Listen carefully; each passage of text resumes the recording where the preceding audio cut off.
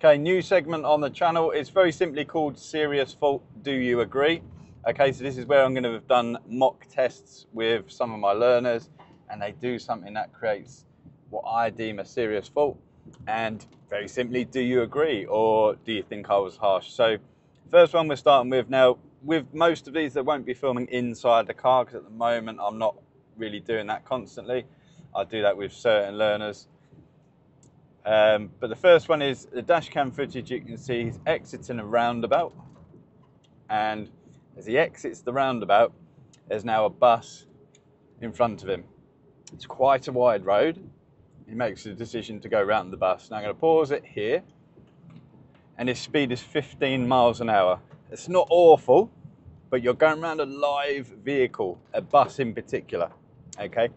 Now the reason I gave a serious fault I gave it for use of speed. There's very little clearance that we're given to the bus at all.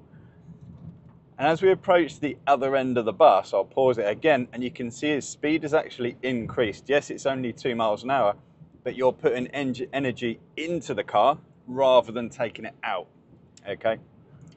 If someone had walked around the front of the bus at that point in time, there is absolutely no way that we're gonna keep them safe. Absolutely no way.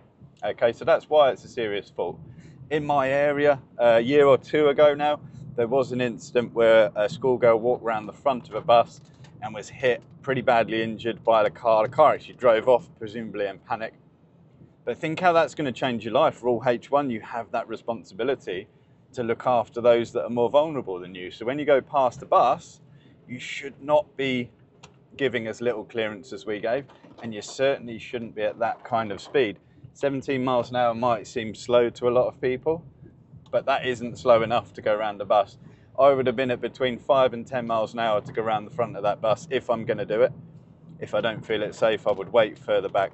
But let me know in the comments, do you agree? Do you think it was a serious fault? Would you have just given a driving fault? Do you not think it was that bad?